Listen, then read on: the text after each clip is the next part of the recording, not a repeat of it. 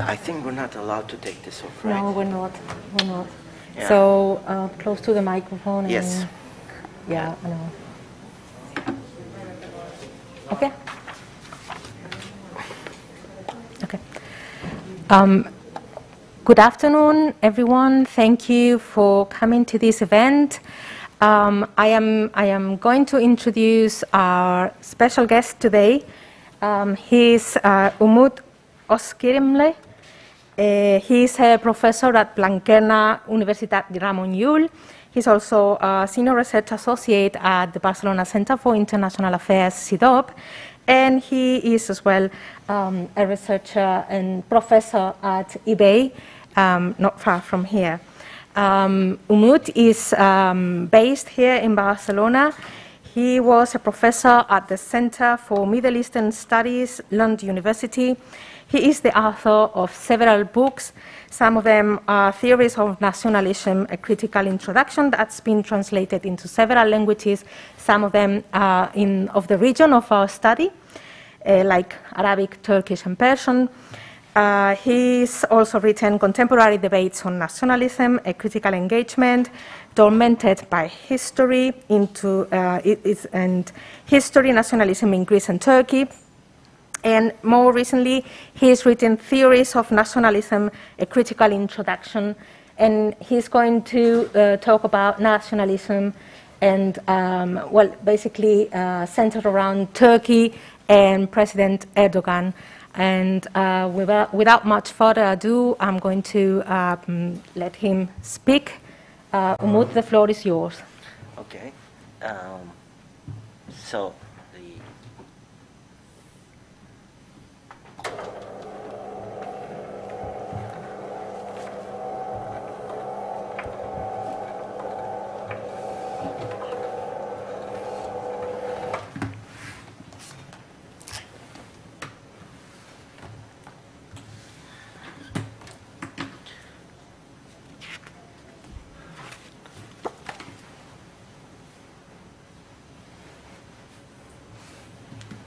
Okay. Well, thank you very much for uh, to IEMed for inviting me and for Anna uh, uh, for for taking over uh, the moderator position in the last minute. Edu cannot make it. Uh, I'm happy to be here, uh, and it's um, because well, as, as I will just mention in a minute, I have been in touch with IEMed quite regularly in the last couple of months because of a new summer school that we will be organizing, and uh, and it's it's interesting to be thinking about now in terms of a different region. I mean, I did work on Turkey, the Kurdish question, um, the Middle East uh, to a certain extent, even though I'm not a Middle East expert as such. And this is this is the first time that I'll be talking about Turkey for a long time. Actually, you know, it's been quite a while, uh, and so it was it was uh, quite. Um, intriguing in many ways to revisit all the all the issues that I was teaching about, but did not, you know, uh, engage with in a critical way. So, uh, but first, uh, with your permission, I would like to start with a small promotion because this is the first um, official announcement of our new summer school, our Barcelona Summer School of the Mediterranean and the Middle East that we've been working on for the last year, and, mm. and actually it brings together. You have to do it in Oh, yes, here too, right? Yes. Um, uh, this was a project that we've been actually the reason why you have here uh, Fred Halliday, who was my supervisor, my mentor, even like I would like to call and see him as my second father. That's he was my connection to Barcelona. I was coming here for since 2005. I think you know it's been quite a time, and I've been living here since 2018. Fred had this idea of a summer school on the Mediterranean in 2008-9, uh, but unfortunately we lost him quite early, at the age of 63 in 2010, and the school didn't pick up, you know, kind of uh, took off the ground. Well, because we lost him, and also it was right after the 2008 austerity, you know, the uh, austerity measures, the financial crisis. So we had the idea of reviving it, giving it a, a kind of a more larger uh, scope, and we are starting this year uh, a different kind of structure, not only lectures, which would be interesting for academics, but uh, also roundtables every evening, which will be free and, and which will be streamed online uh, for all the participants. We start uh, with a keynote lecture by Deniz Kandiyoti at, uh, on gender and feminism in the Middle East at CCCB. Then we have an event with IEMed uh, on security, sustainability, uh, and energy issues. Another one on cities with CIDOB. And finally, with Diplocat on uh, para-diplomacy, you know, uh, the diplomacy of uh, nations without states. So please do visit the IBEI or Blanquerna websites. Do apply. Uh, we've tried to keep, you know, um, expenditures to a minimum. So I hope to see you in July there. Uh, but that brings me to today's talk. Um, and I mean, even looking at the title, uh, Nationalism, Islam, and Democracy. And these are all different courses that you can teach for a full year, actually. Um, and, and to put them together in like 30, 40 minutes, with the, within the, and then also focusing on, on a couple of case studies, it was a challenge, I have to admit, because it, I, I didn't think of nationalism and Islam. I've lectured about it, and, and I can kind of, you know, do it quite relatively easily. But when you put the third variable into the picture, democracy, then things get much more complicated. Not to mention the issue of looking at different case studies.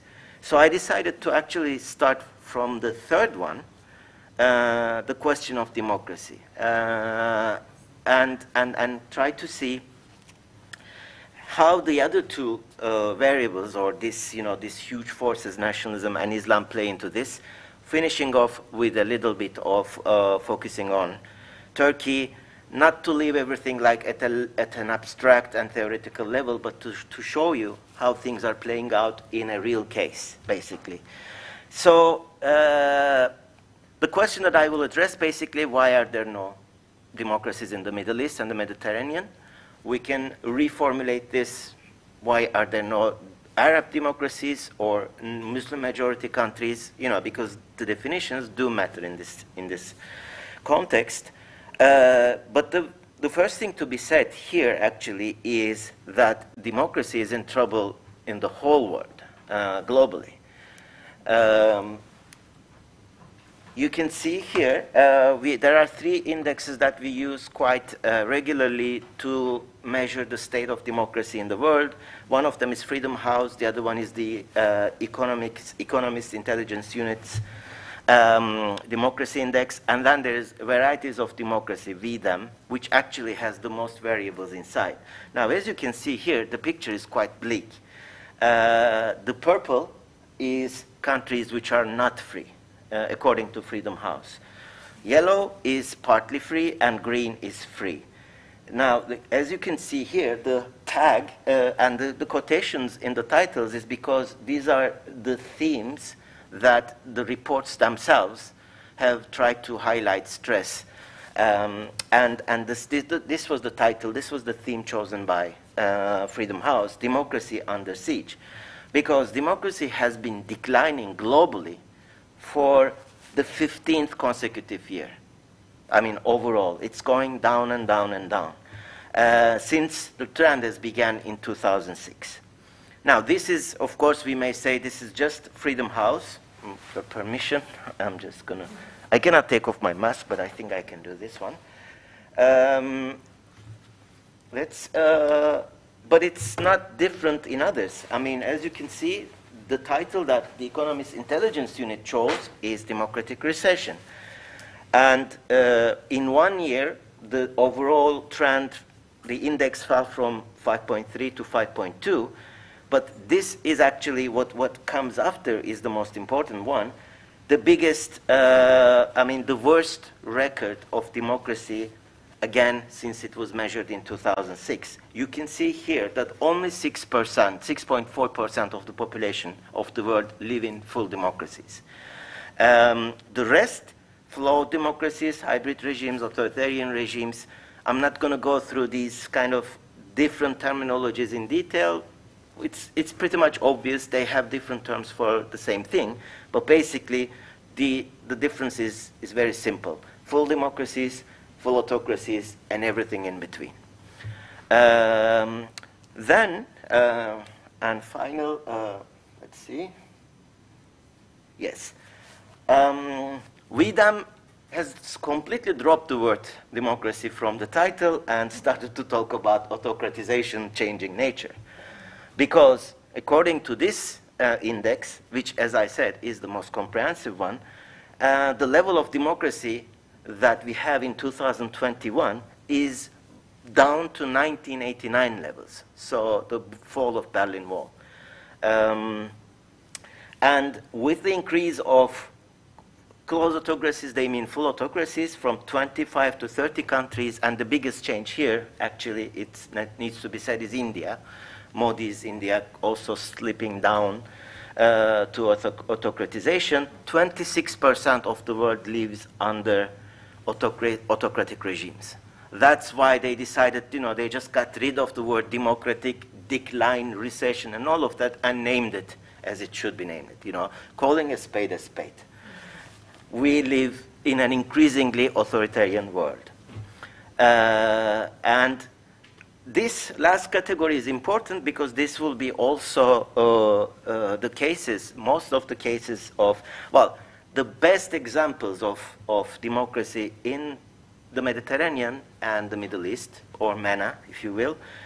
Um, even the best cases like Israel, Tunisia, well, Tunisia is also slipping quite badly, but Turkey, uh, they are usually considered at, at best electoral autocracies or hybrid regimes, uh, but never democracies. And this is 44% of the whole world. Why did I start with all of this? It's because maybe actually, you know, uh, most of all, uh, to get rid of the first important myth that everything is too bad in only the Middle East and North Africa. It's not. That's, uh, yes, I mean, the situation of Middle East and North Africa is probably dismal, quite bleak, dark, but um, this is part of the larger picture in many ways. So we're not going to, you know, that's actually one of the theories that I will try to, or the myths that I will try to dismantle to get rid of, and that is that, you know, the Middle East and North Africa is, or the Islamic countries, Muslim majority countries, whatever you, you want to call them, is an exception. Now, you can see that this is the economic intelligence uh, unit. I mean, uh, out of 17 countries, uh, no, out of 20 countries, 17 are authoritarian regimes. And this is one more than uh, 2020, and this one country is Tunisia, actually. And you see here, the, you know, uh, in this one there's no Turkey, but you can see that there are only, uh, okay, Israel is flawed democracy, well, obviously because of the Palestinian question. Tunisia now slipped back to uh, hybrid regime and Morocco, and the rest is fully authoritarian. So it's, it's, it, is, uh, it is a very, very kind of, you know, um, yes, maybe it is part of a larger trend or a global trend, but still it is, um, even within that kind of overall pessimistic kind of dark picture, it is a quite pitch dark one uh, in many ways. So let's see then, uh, just as a kind of parenthesis before going uh, into the details of it towards the end of the lecture, the situation of Turkey. Now, in 2004, Turkey was presented as a model to the rest of the Islamic world. Like the example, uh, the, the best example of the combination of Islam and democracy. And this lasted until 2010 12, Erdogan himself was greeted as, uh, as the leader of the kind of uh, free uh, Arab world uh, when you know, he visited Egypt. Uh, I was spending some time in Lebanon at that, at that time, you know, and, and the only two things that any tax, you know, the, the proverbial taxi drivers knew were uh, Galatasaray, the football team, like Barcelona, and Erdogan. and I was asking them, okay, well, what do you know about him? and he said that they were saying that he stood against the military, like, you know, he's defending Islam and all of that.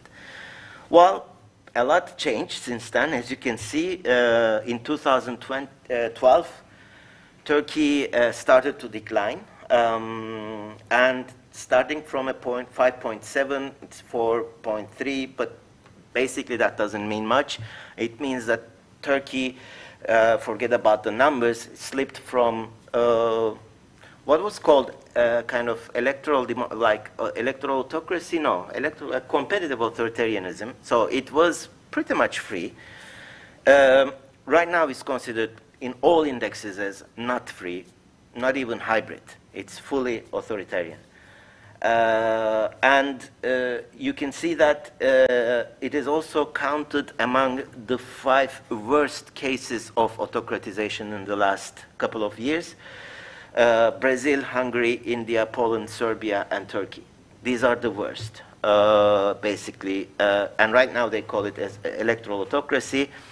The reason why um, we still have the element of electoral here is because elections, uh, even though they're not fair, free, or uh, um, do not give a level playing field, uh, in the words of Levitsky and Way, to political scientists, it is still possible to beat him uh, in in the ballot box. As I will just you know uh, give. I mean the the the, re- the, most recent example is the 2019 municipal elections, mm-hmm. which he tried to cancel uh, and redo the count uh, twice, uh, but he still lost. Um, so that means that you know the country still has maybe a small window, but still has a window for change. Um, but as you can see, the situation in general is quite bad. So let's come to our main question. Why then are there no Arab democracies? Now, I've chosen this article because it's, it's quite, um, it's one of the best articles written on the subject. Larry Diamond is a political scientist in Stanford, and he is the founder of Journal of Democracy, which is considered to be you know, the landmark publication in the field. And he has this article from 2010. Now, the date is important. This is before the Arab Spring.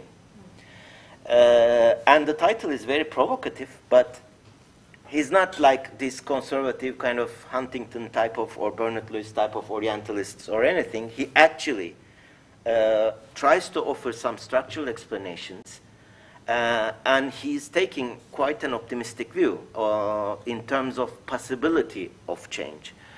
Um, but of course, it starts with the obvious question. I mean, we've seen it in, in I mean, in terms of all uh, existing democracy and freedom indexes that we have and we use. All these are all quantitative surveys. These are all, you know, computing, crunching numbers. So they are as close to, you know, uh, empirical reality as possible. Obviously, there is no certainty in social sciences, but still. And we've seen it. I mean, there are no democracies, including Israel, in uh, what we call the Middle East and MENA Now, he's very, uh, I think that's, that's, that shows the quality uh, of, of the political scientist. He doesn't use Muslim majority, he uses the Arab democracies. Because, well, to begin with, well, as we'll, see before, it's, it cannot be about Islam because Islam is not the only thing that exists in the Middle East. Islam is a much uh, actually, none of the first five biggest Muslim majority countries are in the Middle East. Um, but uh, as he rightly asks, um, uh, he says, okay, but why are there no you know, democracies in the Middle East then? I mean, what is it that makes it only, only Lebanon after the civil war of 1975 was democracy briefly? Uh, and that was just a flimsy kind of temporary fleeting experience. We don't. And he gets, you know, he goes through a couple of uh, theories. I will call them actually, like, just for the sake of, you know, uh, yeah, making this a little bit more kind of uh, informal and, you know, uh, the Butler did it. I call it the Butler theories of, of democratization. Now, the Butler, not, I'm not talking about Judith Butler here. I'm talking about the word Butler. Uh, and I thought that it, it, it, actually came from Agatha Christie, but it wasn't. I mean, the, the, the, the, the term actually is attributed to some Mary Roberts Rinehart. I didn't know of her, by the way, but she's very famous because she is considered to be the American Agatha Christie. Uh, she died in 1958, and the term, the butler did it, comes from uh, a mystery novel, the detective novel she wrote in 1930 called The Door. It's apparently, from what I see from uh, the internet, it's a very crappy uh, detective novel, and it's very obvious that the butler is the killer, you know, until the end, and that's why, you know, they just did it. So basically, we're using it as a, as a cliche, as a stereotypical, predictable result, okay? And that's why I call them, uh, let's see, yes, the butler theories of the Middle East. Now, uh, because it's not the butler, obviously. I mean, one of them is, of course, this uh, more generally what we may call essentialism. Essentialism is that one characteristic, in this case, obviously, we're talking about religion and Islam, but there are some others, obviously. It determines everything about, you know, and, and you know that we have this term, I mean, it looks like a very kind of uh, fancy academic jargon, but it's not. It's, it's very much used in debates around gender today. There are biological essentialists or what, as, what is called as like, versus, you know, uh, say, radical feminists. Uh, some talk about, you know, ethnic essentialism, like, okay, you know, uh, the Afghans are like that, the Syrians are like that, the Catalans are like that, you know, just one thing, stereotypes. The best example, obviously, as you can see, I mean, here, um, I'm, I'm, sure pretty much who here would know the Clash of Civilizations of Huntington, the major uh, we had two scenarios in 1989. One was Huntington, the pessimist. We will have conflict. But rather than conflict between ideologies, we will have conflict between or among civilizations. And he defined civilizations in terms of only one criteria religion. And I mean, the article is, is terrible. There's no need to go into it. Uh, because of the arbitrariness of the categories, the way he defines uh, religions, etc. Um, but I mean, to begin with, uh, Islam, as I said, is not, I mean, the most Muslim majority countries, you have the first five here Indonesia, Pakistan, India, Bangladesh, Nigeria. Now, you may say that these are not fully democratic countries either, but all of them, until recently, India, in fact, was a full democracy. I mean, up to Modi. Uh, Indonesia, Nigeria, they are all much better in terms of democracy than all the countries in the Middle East. So Larry Diamond is actually correct. He's using a much precise term, Arab countries. Now, obviously, this includes uh, others as well, but the point is, this is the main um, uh, thing. I mean, like, you cannot, first of all, explain the Middle East in terms, or MENA in terms of Islam, but, you know, in terms of any essential one characteristic. The other, of course, obvious uh, Butler theory uh, is the Arabs, you know. Uh, and one of the best examples of that is, um, if, I mean, I come from the study of nationalism, and Elie Kedourie is a big, big, uh, towering figure there but he was a Middle East expert. Uh, and he was an imperialist too. I mean, the, I mean, he's the founder of the Middle Eastern Studies Journal with his wife Sylvia, uh, Sylvia Kedourie. But Elie Kedourie was, a, was an imperialist, and, and that was his explanation of why there is no, um, uh, there is no democracy in Muslim majority or Arab countries. They have been accustomed to autocracy and passive obedience typical uh, neocon stuff, but avant-garde neocon, maybe we should say, because you know the term neocon didn't exist back then. Uh, but okay, if not, it's not the religion, then it's culture, political culture. The Arabs basically obey. Well, we know now, at least, uh, in retrospect, that this is not the case because we had 2011. Irrespective of the consequences of the Arab Spring or the revolutions, no, the Arabs are not accustomed to the autocracy and they're not always passively obedient. They've shown us, they've shown the whole world. In fact, even to Turkey, uh, which was in a much better uh, situation back then, that they don't want to accept everything. And okay, I mean, you know, yes, uh, in the end it failed, and there are various reasons for that, which is not the topic of today's uh, talk. But basically, it wasn't. Uh, I mean, we've seen that it's not uh, the Arab people are not passive, you know, subjects, unable to show any kind of agency, etc. And we've seen the same thing, but I was quite pessimistic, to be honest, about the country that I was born and raised in, Turkey. But we had our own kind of upheaval in 2013, the Gezi protests. Uh, and it wasn't like Occupy movement. It wasn't like, uh, uh, it was more like the Indignados, the 15 M, uh, 15 M, 15 M. uh, let me be, you know, try to be. Um, uh, and the thing is, you know, uh, according to official figures, 3.5 million people participated in the protests. Now that's huge. And this is from a country where there are very few but, uh, bottom-up protest movements. So, you know, people do not accept everything as they want. You know, it's like as, as it is imposed on them. So the first butler, it's not the butler. The other one is... Um, uh, and of course, you know, this is something that Fred was used to say. I mean, you know, essentialism is, of course, it's, it's very much related to the second one. The Middle East is, is somehow, you know, a special place, which is different than the other parts of the world. Uh, and that's why, and, and, and Fred actually had a mirror image of that. So it wasn't only the West Orientalist, let's use the, you know, the Saidian way of the Orientalist gaze, it wasn't the, you know, the Orientalist way of seeing the Middle East. But also, you know, the same existed within this, the, these countries. I mean, uh, a lot of people have written about um, Said's, uh, and Fred himself had a, they were close friends with Edward Said, but then they had a few high-profile clashes on TV and radio, and they stopped talking to each other. Fred was really angry when he was angry.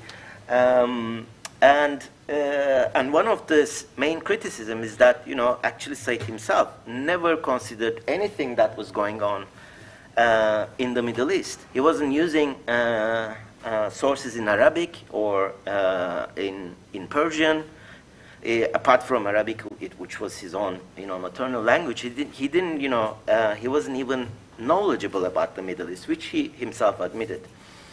Uh, so the, the reverse image of this exceptionalism is regional narcissism, like the, the, people believing that they are special, and if it weren't for the West, if it weren't for the imperialists or the colonialists, we would be better off. It's actually, you know, the same uh, coin with two different sides. It's the same thing. Uh, Fred says, you know, the belief that the whole world spends all the time plotting and worrying about the Middle East. Now, I think Fred is a little bit pushing the point here because, while to a certain extent the world is thinking about the Middle East quite a lot, um, but well, it's not only the Middle East as we are seeing today in Ukraine. Uh, I mean, it depends on the context. It depends on a lot of, you know, various um, other geopolitical factors, etc. Uh, but yes, I mean, we cannot trace all the problems that exist in the Middle East to external intervention, to Western intervention. It does make things worse, but it doesn't create the problems as such. Um, so, two butlers are gone. Then, who could be the killer? Let's see, there is another butler, I think, which is it's the usual thing, you know, it's the economy stupid thing. And that was, that was, you know, for students of political science, like, like myself, uh, in the 90s when I was studying in, in Istanbul, most of our professors were educated in the, in the United States, in Ivy League colleges and all. And, you know, the first thing we learned about was what was referred to as modernization theories the, the famous American school which dominated social sciences for like from the 60s to, I don't know, I think at least the 80s until the emergence of post-colonial studies. And one of them was very famous, of course. Well, it was adopted in different ways by a lot of political scientists, but Seymour Martin Lipset, very basic idea. The better the economy, the more prosperous a country, the more chances are there are for democracy. So let's just invest in them, let's give them money, let's make them prosperous, and democracy will follow. Now, today, of course, we are kind of, we can even make jokes about this simplistic uh, understanding of, of development and democratization. But this was really dominant for a lot, I mean, for quite some times. And it actually uh, gave, um, um, I mean, it, it gave a direction. Uh, it kind of, you know, had a huge impact on policymaking. I mean, this was the, at the root cause of American aid or Western aid in, or the investments in the region, etc. But the, the, you know, in itself, this doesn't explain anything either. And you know, you can see examples of this uh, in, in Larry Diamond's article. That's why I quite like it. I mean, Kuwait is as rich as Norway. I mean, we're talking about only per capita income at this point, not other uh, structural problems, which we will see, you know, a little bit below. Uh, Bahrain is on a par with uh, France, Saudi Arabia with Korea, Oman uh, with Korea, Oman with Portugal, etc., etc. Now, the countries which are much poorer, Egypt, Jordan, Morocco, Syria, Yemen, they are uh, at the lower end, but they're not worse than India and Indonesia, which are much better in democratic, uh, you know, in democracy, in, in, terms of democratization scores, uh, because it functions somehow. So then the more obvious, I mean, this is probably the, the the, the last character in the plot, which will live until the end of the novel, and you will think, no, no, no, this is, this is the butler, you know, this is the killer, which is not economic wealth as such, but the structural economic problems, distribution of income, and human development. I mean, because if you look at the impact of economy there, then it's a different situation. Obviously, Kuwait as rich as Norway, but is Kuwait as economically kind of uh, welfare-oriented um, in terms of equality of you know distribution of wealth, redistribution is like Norway? Obviously not. I mean, and that's one of the main problems. But there is an interesting picture there, and I checked that. I, checked the recent figures. This is from 2010, but I, I did look at the human development indexes from recent years. And human development indexes does not only include do not only include economy, but also education and health. And again, you see that the Arab oil states, in terms of distribution of income, education levels, and healthcare, are still as good as at least Portugal. Hungary today would not be a good example, but okay, I mean, until Orban it was. And Saudi Arabia, Bulgaria, and Panama. So it's not even that. I mean, you know, it's it's weird that even in countries where distribution of income is bad, skewed, uh, and there's much inequality, still, you know, the Middle East is not an exception. I mean, there's something else. Um, so who is the butler? First, I have to push twice because first it wakes up and then, first of all, there's no one killer. There are, it's a group. There are two accomplices the, one, the ones who gave the key to the killer. Um, and there are two of them. Now, this is specific to the Middle East pretty much because, okay, it exists in other countries too, but at least in this case, it doesn't make it, uh, uh, I mean, this factor does make a difference. Now, the oil, obviously. Now, that's pretty much the obvious accomplice, and we say that, oh, he's the killer, he's the killer. I, I use the gender he because, you know, I'm kind of very politically correct, so I cannot imagine the butler being a woman. So he is the killer. Well, I mean, at least he's an accomplice because over 46% of the world's oil is in that region. Now, the, the problem is not only external interference, which is a really important thing. The second accomplice is geopolitics. But it's, it's what the oil does to a country no accountability because, well, I mean, they have the money and they can distribute it again. They don't need taxes. They don't need to collect taxes. And, and that's why we have theories of rentier states, etc. I'm sure Anna will know them much better than me. Um, then, of course, they can afford to have a huge state bureaucracy uh, with a very serious uh, security apparatus. And that's why we had the Muhabarat, you know, in Syria, or, you know, the same thing in other countries uh, of the Middle East. Uh, and because of all this all-powerful state, we don't have a decent civil society. It's either uh, satellites of the regime, or it's, uh, uh, as we've seen in, in several cases after the, the uh, Arab Spring, it's the Islamist groups who are the best organized in civil society, which are not themselves democratic. Uh, but again, it has nothing to do with Islam itself. It's just that it's a different. Now, again, the Middle East is not an exception. But, and this includes countries like Venezuela, etc., not any single of the 20 countries that, that derive their export earnings from gas and oil is a democracy. So basically, okay, Middle East is not an exception here, but the point is oil, when it comes, it corrupts somehow. We've seen the same example in Bolivia, uh, in, in Venezuela. Um, so there's this kind of, you know, there's someone inside the house who opened the door, okay, to the killer. And uh, the geopolitics, obviously, I mean, all these problems have been made much worse because of international state, I mean, the regime, the world, you know, the, the, the structure of the, uh, I mean, the importance of the Middle East as an area. I mean, like, of course, and the, the most important reason is the Arab-Israel conflict, obviously. So the interference is much higher. I mean, Syria is a mess because of Turkey, Iran, Russia, to a lesser extent, the West. Like everybody is in, and Syria doesn't have oil. Imagine, you know, imagine if it did have oil. Uh, and would, would the West be so quick to intervene if ISIS did not break into Iraq? These are questions to be answered, but my answer would be no. Okay, but the killer is the state.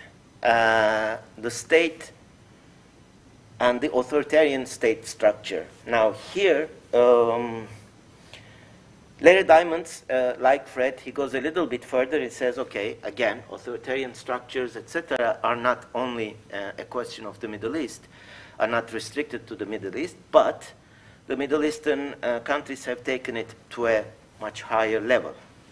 I'm not so sure of that, um, but at least, you know, uh, it is important in terms of understanding now. Uh, I'm going to the other two uh, variables in the title, Islam and nationalism, uh, to understand these other two, one and two. And, and that's one, uh, my pretty much argument. I mean, the state is all important and is the killer because of a lot of things uh, that are related to nationalism. Uh, and that's why I will, you know, that's exactly precisely where I will uh, kind of dismiss Islam as an important factor. Not because it doesn't matter, but it's, it has a subordinate role. Uh, it's like, let's just say, the weapon uh, of assault, okay? It could be a gun, it could be a knife, but it's the intention and the killer who wields the weapon. And that is nationalism. And that, that is what makes the state so important. Um, I have, you know, well, as, a, as befits uh, Fred's student, like I have a very modernist approach to that.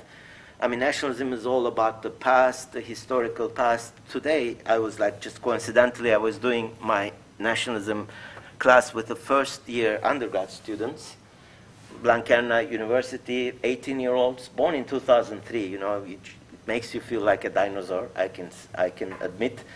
But it's always, I start with their definitions of nationalism, patriotism, and all of that. And you can see all these things that dif differ here. I mean, like for them, and I said, okay, what is the one thing that defines Catalan nationalism for you? I, I pretty much knew the answer, but I wanted to get a confirmation. And yeah, it was, the I mean, majority said language, and, you know, the, the minority said history, of course, of the background and all of that. But this is the thing about the past. I mean, the past for nationalism is simply a tool, an instrument of the state. it uses it, it shapes it according to. I've just seen the title of Anna's uh, recent paper that she wrote or a talk she delivered in CIDOB with, in conversation with a colleague that, whose name I don't remember. You said the same thing about extremism. I mean, it's used instrumentally. Um, so without the state creating the nation, uh, nurturing it, reproducing it, there would be no nationalism. Actually, you know, in the, uh, uh, for Arab nationalism, this was one of the words. Historian Ernest Dawn used the word uh, a nationalism without nationalists. Because there were no Arab nationalists in the 19th century. It was created. Um, to be honest, again, much like the rest of the world. So this is, again, uh, uh, a Middle East is not an exception here. And here we come to uh, the idea of, I mean, the, the, the, the, the crucial uh, kind of binary here, the, the, the, secularism versus Islam thing. That's exactly why religion is not in itself the defining reason, the defining causal factor. Because there were times where Arab nationalism, the whole, the general idea of Arab nation or Arab unity, brotherhood and sisterhood, but also state nationalisms, like Egyptian nationalism, this and that. They went through different phases. There were secular phases. Mean, Nasser was not an Islamist. In fact, he was the opposite. You know, the same goes with the Ba'ath regimes in different Ba'ath regimes in Iraq, in Syria. So basically, you know, when it fit their purposes and their current interest, they were the best seculars. I mean, look at the Turkish army. I mean, uh, but because the only alternative that, that could exist in such a suffocating uh, authoritarian kind of environment uh, was Islam. You know, they were also, and it was a two traditions. I mean, you had Michel Aflaq on the one hand, and you had Said Al-Qutb on the other side. One was defining, uh, was basically seeing nationalism as a heresy. You know, oh my God, it's blasphemous. It's, it's Islam. We are Muslims. On the other side, you had Aflaq who said that, well, Islam is there to serve the nation.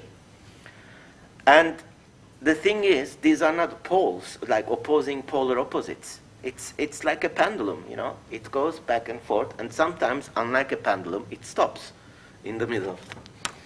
Um, oh, five minutes. This is going to be challenging. Basically, um, uh, and the final point I can pass a little bit more quickly, the issue of universalism versus particularism, it's, it's very much tied to the issue of secularism versus Islam. Um, so this nationalism basically explains the force of the state. The state is the one which kind of controls society, is the one uh, instrument, the major instrument of socialization, education, media, etc., etc., and through a skillful use of nationalism, which may or may not include religion, in this case Islam, is shaping politics. One, two. So what happened? Turkey's Erdogan. Uh, I say this Turkey's Erdogan because when Erdogan came to power in 2002, this is a famous picture in 2004. I may just pass like two or three minutes, but not more.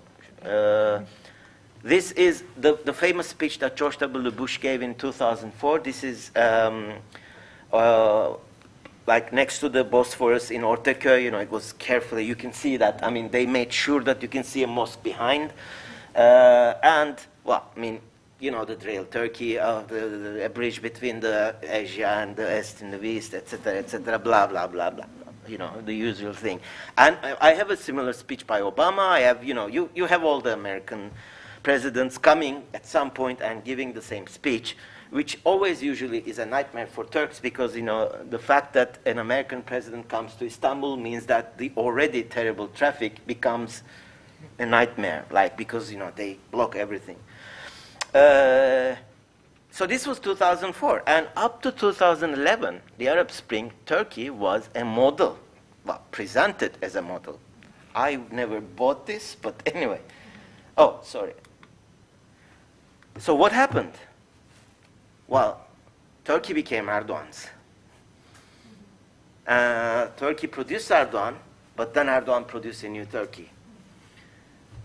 and it looked actually quite interesting. Oh, I had a pointer, I was told. Uh, this, see, this part, the control over the military, everybody was kind of happy. In 2010, we had a referendum in which quite a few of the liberals or left-wingers uh, did support uh, a yes vote, not because they believed in it would bring democratization as such, or that the AKP or Erdogan is inherently democratic, but it wasn't, you know, it, it, uh, we will, I mean, we, but I was pretty much of the same view. I didn't vote in the referendum, and I didn't campaign for any of the yes or no votes. But the point is, I did, for instance, believe that the, some of the changes that he's bringing might open the way for democratization.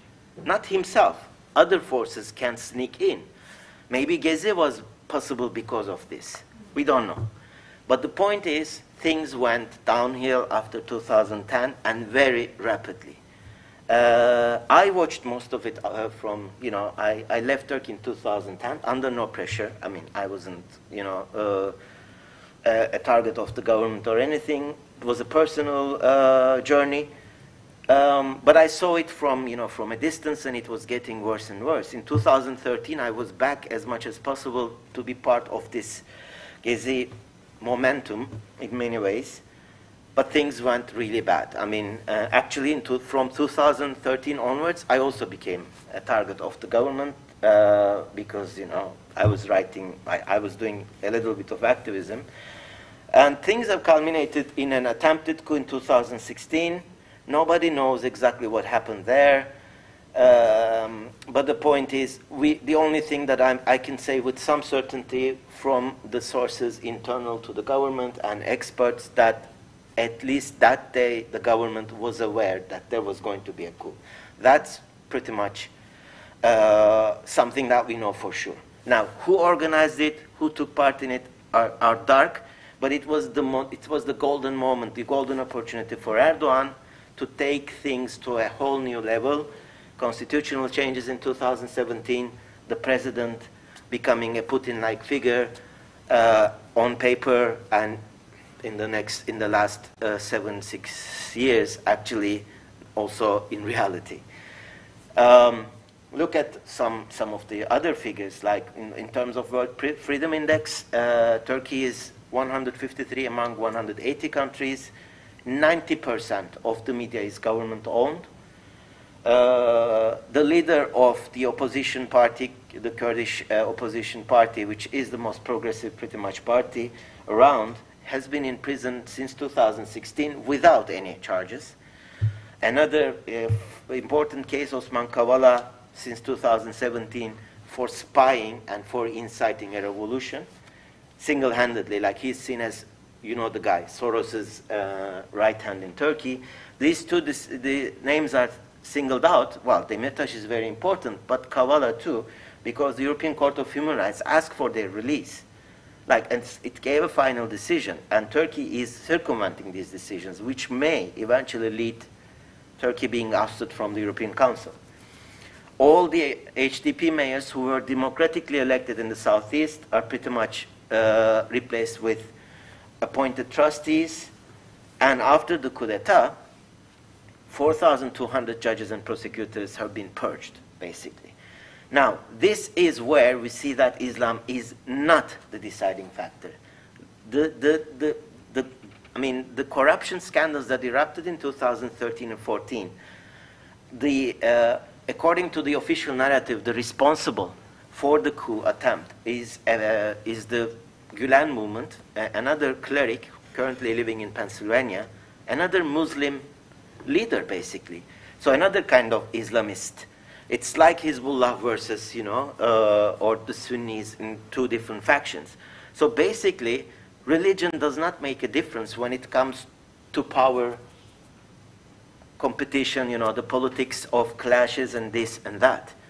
Uh, I mean, the, the most important, the single most important clash that Erdogan had and the most important challenge to his power came from another Muslim nationalist group, the, the, the Gulen movement. He prevailed, fine, but the point is, it wasn't about Islam. It was a different conception of Turkishness. Now, I'm going to finish with a very little clip this is something that happened four days ago. Uh, there are still some small sects which are anti-state, uh, anti, anti-Erdogan, which exist in, uh, in Turkey, uh, and they are under heavy uh, repression. Um, and this is, this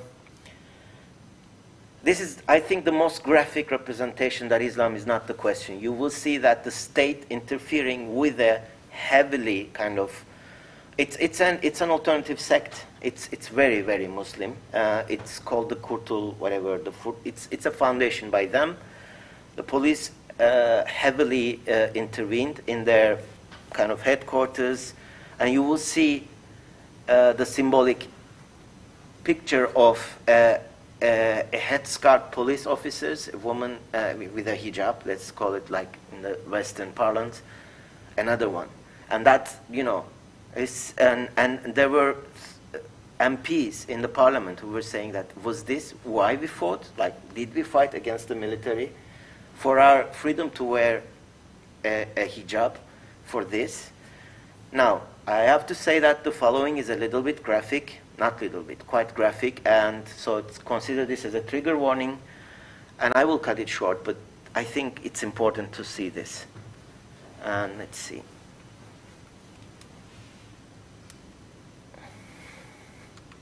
Furkan Vakfı destekçileri 8 tutuklu üyesinin serbest bırakılması için e, yapmak istedikleri eylemde polisin sert müdahalesiyle karşılaştılar. Polis göstericileri coplayarak biber gazı ve plastik mermi sıktı. Etkisiz hale getirilen vakıf üyelerine dahi işkence dakikalarca sürdü. Alparslan Kuytulu'nun başında olduğu Furkan Vakfı'nın üyeleri tutuklu 8 gönüllüsü için Adana Seyhan'da bulunan Cevat Yurdakul Caddesi'nde eylem yapmak istedi. Aralarında Alparslan Kuytulu'nun da yer aldığı gruba polis müdahale etti. Eylemcileri coplayarak biber gazı ve plastik mermi sıkıldı. Basın açıklaması yapmak isteyen Kuytul'un bir marketin deposunda polis tarafından alıkonulduğu da iddia edildi.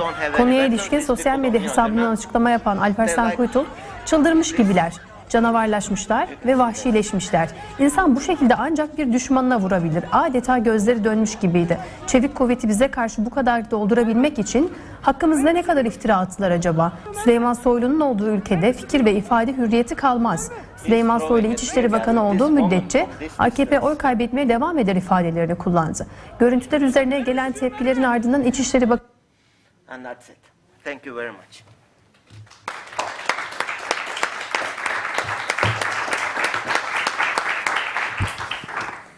Um, thank you, Umut, for for everything. Um, it's um, it's very interesting that you've uh, mentioned India quite a lot because yesterday I was talking about um, the democracy, the decline of democracy in India in a, in a conference somewhere else, somewhere else, yes.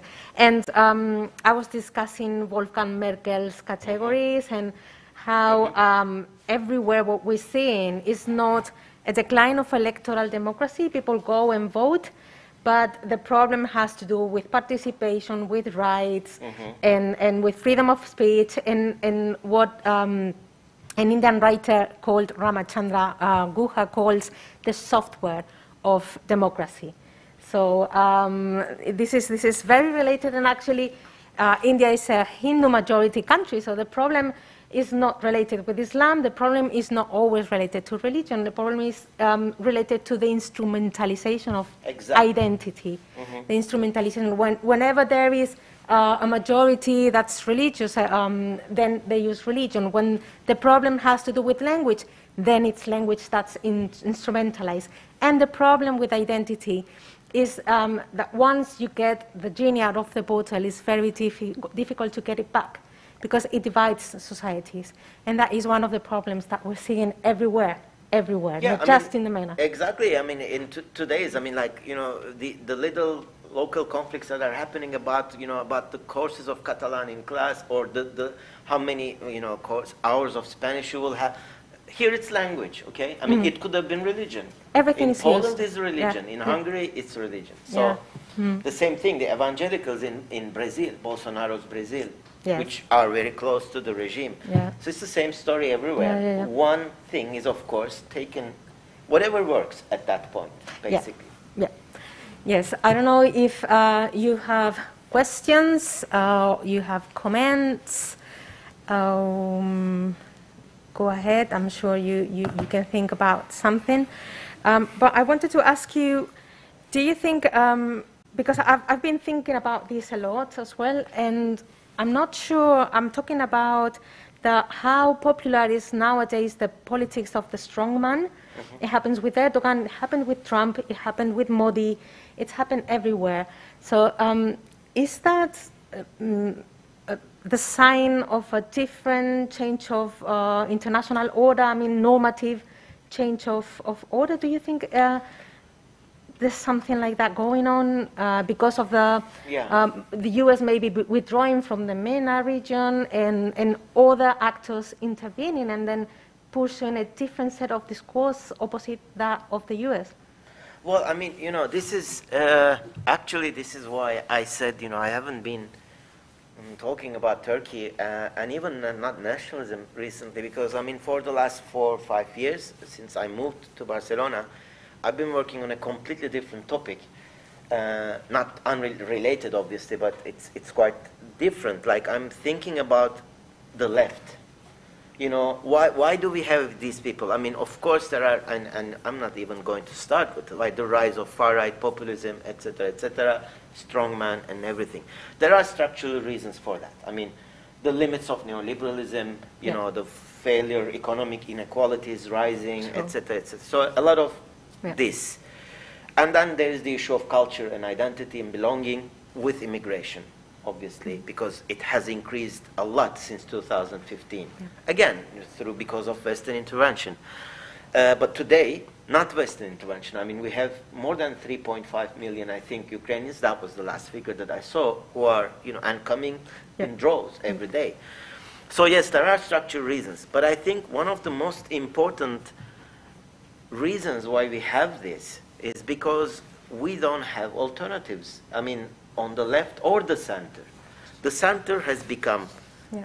either completely adopting at least the discourse or the rhetoric of the right, the strong man. I mean, like in Denmark, we have a social democratic government which is very welfare oriented, social distribution and all. But when they talk about immigration, they talk about like walks, hmm. literally. Hmm. Not the machismo part, but the immigrant, the immigration, etc., etc. I mean, you know, then this is a reality. I mean, don't think that this is an exaggeration of the media. In the border of Denmark, they are checking the wealth of people who are coming and taking their belongings, their jewelry, mm-hmm. up to their golden teeth. So, and this is a social democratic government. Merkel did the same. Macron is doing the same. Macron, to, to, in order to win the elections against now not more one, but two far-right candidates, Marine Le Pen and Zemmour, is you know taking and adopting this discourse and using it skillfully, like Islamofascism yeah. and all of that. And the left, what are we offering as an alternative? We are, you know, deluded in certain little identity debates. What are your pronouns? Uh, you know, uh, LGBT rights and this and this and this, which are really important issues, by the way. But the point is, what does this say to all these people who are voting for the strongman? I mean, do we have any? Okay, forget about the the little things that the other things that Alexandria Ocasio-Cortez and the Democratic Socialists in USA they are asking for one major thing before the midterm elections: erase, get rid of the student loans in the United States. Okay, simple economic measure which would probably win them the election. Otherwise, they're going to lose it and they will lose it if, if it, they go on like this. And, and then in 2024, we will either have Trump back or someone more appealing than Trump, because, you know, he can, he can be really. Um, so we're not, you know, there is no, I mean, Podemos, Syriza, there was a kind of left populist wave, but they couldn't face this, you know, this monster, this juggernaut that we call austerity, and, you know, um, I mean, Syriza came and held a referendum to decline austerity, and then he accepted a worse plan by AM, IMF than before. So we don't have any alternative, and these are little things that these people are quite skillful in using. I mean, Hungary doesn't have, they have a couple of hundred Muslim immigrants. You, you know, they're all registered. But he's using anti-Islam rhetoric to be, you know, to come to power, to stay in power. Orban, Kaczynski, all of them, mm. because what do we counter them with? As no serious agenda, no political uh, options, alternatives, philosophical, academic debates about rights and, and symbols and cultural, whatever little things. That that's detached from the real world. And I think as long as we have a serious alternative to, yes, neoliberalism, etc., etc., but mm. I mean, who will be tackling this and yeah. coming up with a better kind of. Yeah. We don't have that. Mm. Uh, we don't have it even in this country. We don't have it anywhere. Yeah, it's a difficult task. No, no center left. I mean, you know, it's in any country. Yes, much. even if, if uh, you're not thinking about categories themselves, uh, it's, it's just an, an, alternative to, to what they present that's so effective, dividing people. That's and, so easy to. And personality. Cult. I mean, the only uh, living, uh, uh, like, like the most strongest candidate uh, against Putin was Navalny. Same personality cult. Yeah. He had money, he had the, the social media networks and all of that. Uh, I mean, you know, even, even it's, they're, they're, trying to imitate the game played by the masters. And um, people always go for the real thing, mm. not for the copy. Mm. -hmm. Okay, um, do we have questions? Please. I, I, I think I could do without a mic. But, yeah, um, I'm fine. I can but hear. But it is oh. streaming, oh. so we need, we need um, yeah.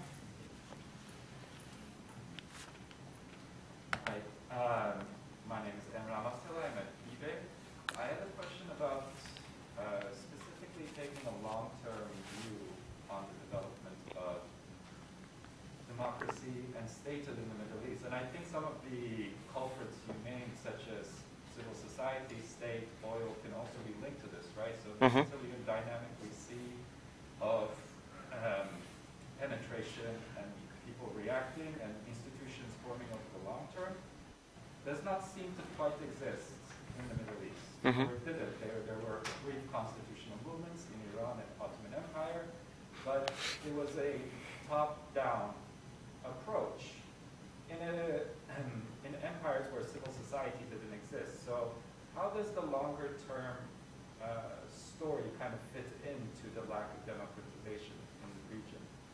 And specifically, perhaps, looking at the sequence of events. So nationalism with the Turks and the Arabs developing much after World War I, or mm -hmm. even through World War I. Mm -hmm.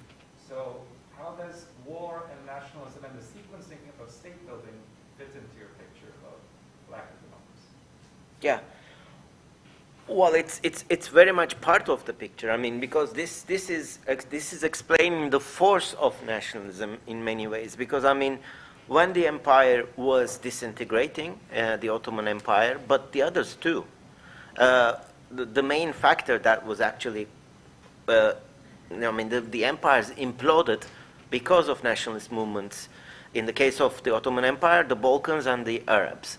Uh, in the case of Russia, you know, you had different uh, things. And the only way to counter that, now, and then it did work uh, because it was the time of, you know, the age of nationalism. I mean, Kemal Atatürk in the National Independence War had to go for an alternative uh, identity, which was, you know, a new definition of a nation and the state. So basic, but he was I mean, despite, uh, I mean, all the Tur Turkish, I mean, so I'm not saying anything original here. I like acknowledge my debt to a tradition of scholars.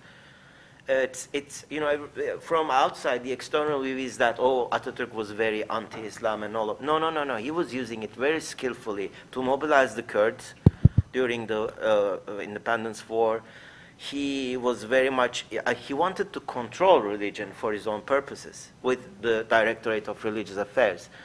And the relationship between the state after him and uh, Islam was, again, a mere marriage of convenience. Sometimes very important factor, sometimes in the foreground.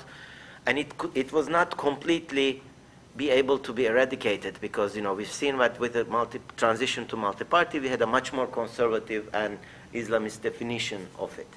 The same thing goes in, in pretty much everywhere. I mean, the state building uh, is the starting point or the root cause of the problems that we are having today. Strong state uh, tradition in many ways. Now, the thing that makes me, and I don't have an answer here, think more um, like still a question mark here to what extent the thing we call political culture uh, makes a difference. Uh, because, yes, the state, uh, and historically and institutionally, it can be explained through various mechanisms, disintegration of empires and all of that. But what about the state? I mean, obviously, we're not going back to essentialism here. Political culture is constructed, it's, you know, it changes, evolves. But what is it that, you know, there is a, and it's not only in the Middle East, obviously. What is it that makes people to, you know, uh, to want a strong man or a strong state? Now, this is a question that I'm trying to, uh, because, you know, if you look at other surveys with people, you will see that, like, I've done the first uh, nationalism survey in Turkey, like proper acad like, academic survey, in 2006 and I found the result, the, the, results that I had was pretty much the same that everybody else found. When you ask, how do you identify yourself? The majority of Turks definitely say first as a Muslim, then as a Turk, and uh, there's a huge you know, group which also defined as Sunni Turk or Sunni Muslim Turk. So it's an identity, it's, it's an amalgam, it's a combination which still exists.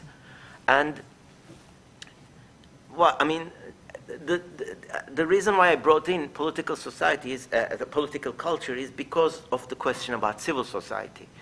Because in all the, with little brief uh, periods, the civil society that we've seen in Turkey and in the rest of the Middle East, I mean, Hezbollah is not a civil society organization, but it filled in the, you know, the, the, the function of a civil society in certain parts during certain periods.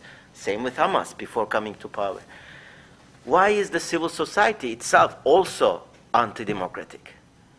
Again, strongman. You know, Fethullah Gulen. They call themselves the service movement. Their own title, their own self-appointed title is the service movement. A service movement which is based around the personality cult of one single preacher, Fethullah Gulen. Nasrallah, Hamas, you know, all of these, again, I mean, even the civil society that exists is not democratic. So, what is it in this geography, moving geography, that doesn't produce a strong movement for democracy? This is a question that I do not have an answer to yet. Repression, state, etc., etc., yes. But in some countries, you know, people fight Yes? I, was, um, I think you had a... Yeah, I, I, had a thought. Maybe one way of you're phrasing this political culture... Sure, yeah.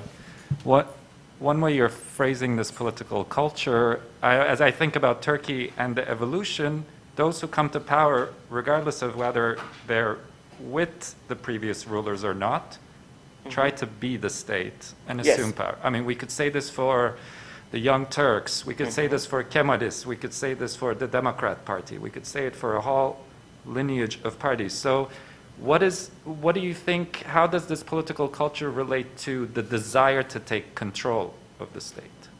Well, that's exactly the problem. I mean, you know, everybody is a Democrat when they're not in power, but the moment they're in power, they want to basically, first of all, yes, take control of the state, but also control the state as it is like all uh, opposition parties promise when they are in opposition that they will lower the election, the electoral threshold 10%, which is the highest in the whole world as far as I know, um, definitely in Europe. Uh, and then once they're in power, they like it because, you know, it eliminates all the opposition. I mean, it was set up for the Kurdish party, but, you know, in 2015, they organized. Liberals also kind of um, converge on this party and they pass the threshold. But today, uh, the only way it could work is the coalitions. So right now, for instance, the recent news, I'm not very hopeful, to be honest, but I mean, all the opposition parties, six of them, want to unite and agree on one single candidate which will run against Erdogan in 2023. Now, if they can agree on someone, that's one question. Whether this person will win is another question because my hunch is that he will try to annul the elections or get rid of this candidate. But let's just say that the third option, the best option, happened and they won. Will they be uh, more democratic than Erdogan? Well, you can't get worse, maybe, in that sense, maybe. But the point is, these parties, the secular, so-called secular uh, Republican uh, Party, or the nationalists, the alternative nationalists, they don't want to sit in the same table with the Kurds, for instance. So the six parties doesn't include, don't include the Kurds.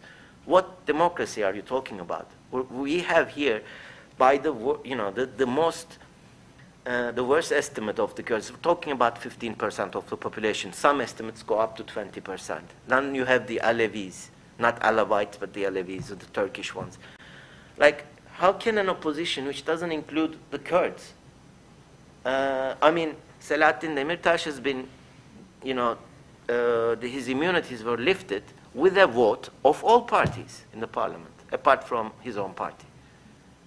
So, like, even the official opposition is anti democratic or non democratic. Civil society, today it doesn't exist. But when it existed, it was the same thing and I've been, you know, involved in, in, in kind of different uh, kind of debates around, you know, feminism and all of these things, not, not willingly. Uh, but the point is, you know, even the most progressive mind uh, is like, you know, it's just democracy and freedom for themselves, not for the others. However you define the other. So the concept of equality and freedom doesn't exist in the minds of these people. And I, I cannot fall back on essentialism. That would be a, a rejection of my own like philosophy of life. But so there must be an explanation. Why is it like this? And I still don't have an answer for that. It's always very difficult to find answers for certain questions. I'm afraid, and especially when it's something that's um, happening everywhere in so many places with so many uh, other manifestations. So, um, if we don't have any any further questions, yes.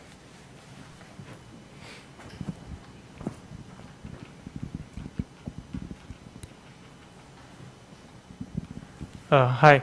Uh, uh, I couldn't help but notice one of the data points that you had mentioned in the graph that we are back to the level of uh, uh, the level of democracy is back to 1989. So is there a connection the fact the fact that post 89 it was the unipolar world led by United States which papered over the cracks which all was already there. So in a way this hyper globalization, the rise of one power was a blip or kind of now we are what we are living is in a blip in a history where it never existed. And now as we see with the war in Iraq, war in Afghanistan, economic downturn, and I mean, the way US is receding from the global affairs, the rest of the world is coming back to what exactly it was. Well, I don't think it, you know, that would be a correct kind of, because, you know, the, the fact that it is back to 1989 isn't a good thing. In 1989, it was really bad during the Cold War because of the rivalry. It's, it was the hopes that have been raised after 1989 that you know we thought oh you know i mean fukuyama version of it the, the other version the clash of the end of history now everybody knew that that was pretty much again crap or rubbish. But but the point is every, a lot of people in the us also bought this like we won you know and then the rest will be democracies and everything. Like for a while it, it went well but look at today. I mean I mean, it's, it's the, the lowest point you can get. I mean, an, a, a European country, well, whatever, however you define like, you have China, which is almost as strong as in the United States in all respects, even maybe militarily. Russia is, is literally, uh, you know, maybe, well, not maybe, committing war crimes. Uh, and, and, you know, there's nothing that would counter this fact. And obviously, you know, all these little islands that were democratic in the past, I mean, how did Erdogan, for instance, was able to, how he, he uh, managed to, to, to be so powerful using the refugee card. I mean, the European Union putting all these kind of, oh, you have to do this and this and this to be a member of the European Union, and then Syrian refugees, and Merkel goes immediately to Istanbul, sits in this kind of golden uh, big uh, chair just before the most crucial elections in recent history, giving full support to Erdogan. Why? Because Erdogan say, if you're not coming, I'll put the refugees in the boats and, and buses and I'll send them to Europe. So, so basically, the whole world order is broken. It's not only the U.S. The U.S. is, is a lost cause, I think, you know, in many ways. But what is the, you know, the European Union did not exist literally until like a couple of weeks ago. Now there is some, you know, they're like a, a child trying to kind of walk. Uh, but still, you know, crawling. Uh, you know, it's not only the U.S.'s fault, and actually, why are we expecting everything that you know from to come from there? Like India was a democracy. I mean, what happened with Modi is not too different from what happened in Turkey. Uh, so, and and Modi is giving you know happy pictures and photo ops with not only Putin but all the Western leaders. So of why it is the fault of US, but it was the rise of US and the fallback which kind of covered the, what was already there, the fissures. So yeah, it's not the fault of the US, it's sense, the fact yeah. that US is out of the global picture the way it was in past 20 years that we see what it was already there now. Yes, I mean it, it, it was like the disintegration of the Soviet Union, you know, every, every crack was already there and there was a roof which was holding it together, or Yugoslavia. And once the, the, the roof falls, then you know everything falls back to now what was the roof? It wasn't the united states. It was the cold war you know? Nobody could take a move uh, without endangering the existing stability order etc now once that was gone everybody was left to their own devices. Uh, so apparently nothing democratic did exist before either as you say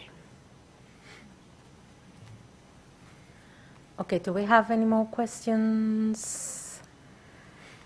I'm afraid uh, we are going to finish with a, a quite negative uh, feeling that uh, oh. the world is. But anyway, I'm talking about India and talking about Modi. Um, if, if, you remember, there's been uh, these uh, farmers' protests that have been going on for more than a year. And uh, due to the elections in two different um, states of India, Modi backtracked and repealed the laws the farmers were protesting against. So I think if, you know, if civil society, if people protest against, against common issues, those grievances that unite everyone, um, these governments, as long as they are a democracy uh, like India, still you know, although, although with its problems, but it's still a democracy. They can backtrack, and then you can, you can make changes in, in the system. And remember those uh, up there in, in, in the government that they have to be accountable in, in, in a way.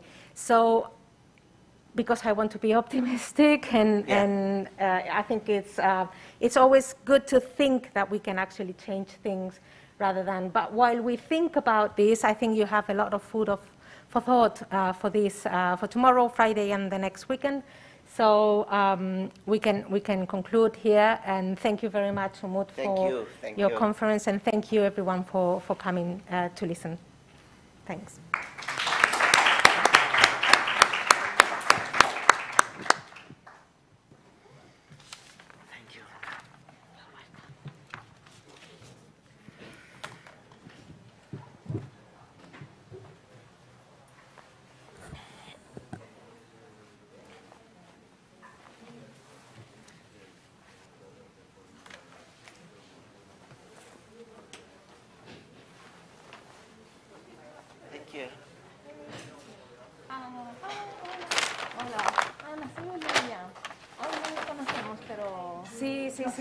Sonaba mucho tu cara, digo, es ella.